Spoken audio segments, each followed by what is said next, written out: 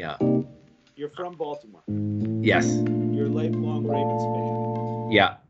You have tickets to the Super Bowl. Yes. You don't have one childhood friend that would want to share that experience with you that's also a Ravens fan? You know, for whatever reason, it didn't cross my mind.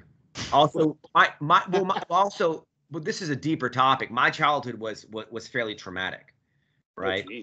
So I mean, yeah, I mean, I was the only like brown person in a like a passively racist middle middle middle class neighborhood full of, you know, all sort of white people who were, you know, yeah.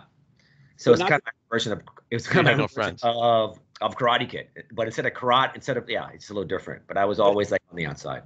but everyone's in Cobra Kai except you. Yes, that's the right. Yeah.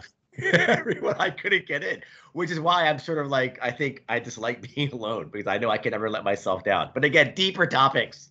But Yeah. what's Yeah. even That's more what's too even much. more amazing is you opted after that experience growing up, you opted to go to basically an all-white Southern college. I know. My You God. put yourself right back in the soup.